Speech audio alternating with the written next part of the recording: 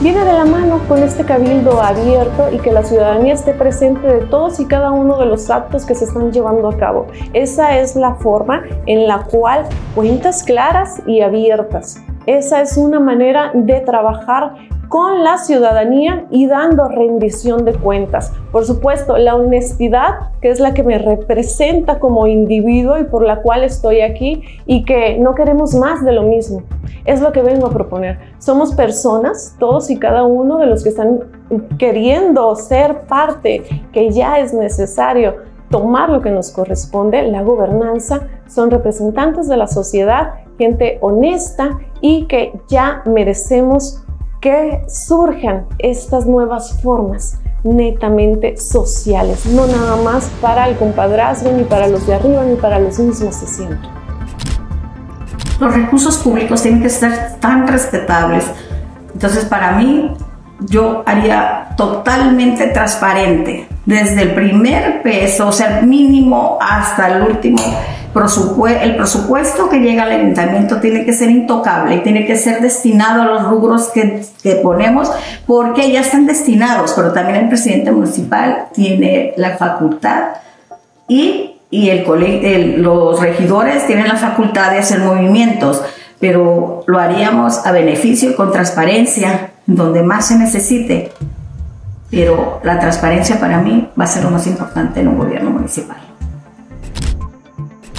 Desde siempre, fíjese que yo he sido una persona que me niego a manejar los recursos este, y tomar decisiones yo mismo. Siempre donde he estado y donde me ha tocado que, se que, que sea el manejo de recursos, siempre busco una persona que le conozca al tema.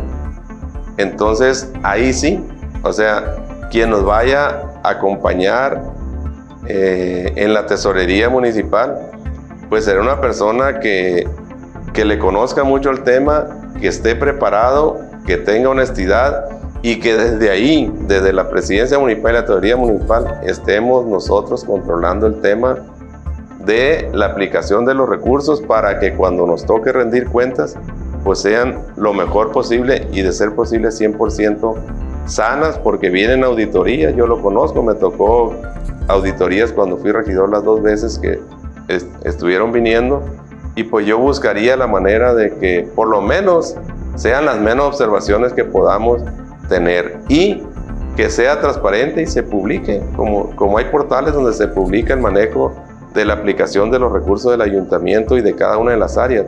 Estaríamos nosotros trabajando con ese, con ese, con ese esquema también para asegurar que tengamos una buena rendición de cuentas de los pocos o de los muchos recursos que tengamos la capacidad de administrar.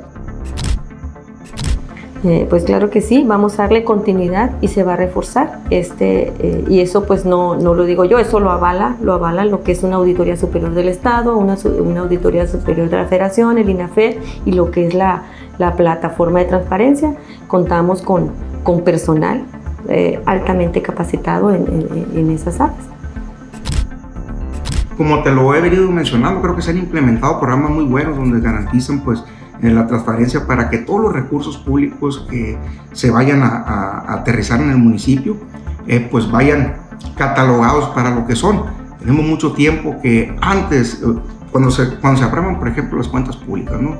¿Qué hacemos? Pues tenemos que destinar en qué vamos a, a usar los, por llamar así, por los, la economía del municipio, ¿no? Tenemos que ser muy conscientes de lo que tenemos eh, que acreditar y demostrarle a la ciudadanía todos aquellos recursos públicos que tengan que ir en beneficio de ellos, transparentarlos, informarles de dónde vienen, pero sobre todo que ellos se den cuenta que se están aterrizando hacia, hacia la ciudadanía para tener un mejor salvaguarda.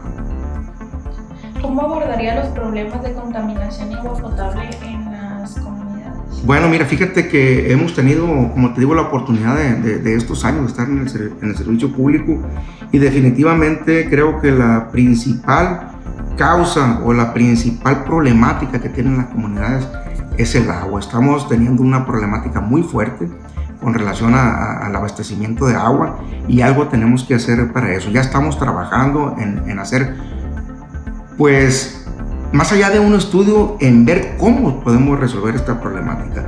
Es una problemática generalizada en todas y cada una de las comunidades del municipio de Salvador Alvarado y algo tendremos que hacer.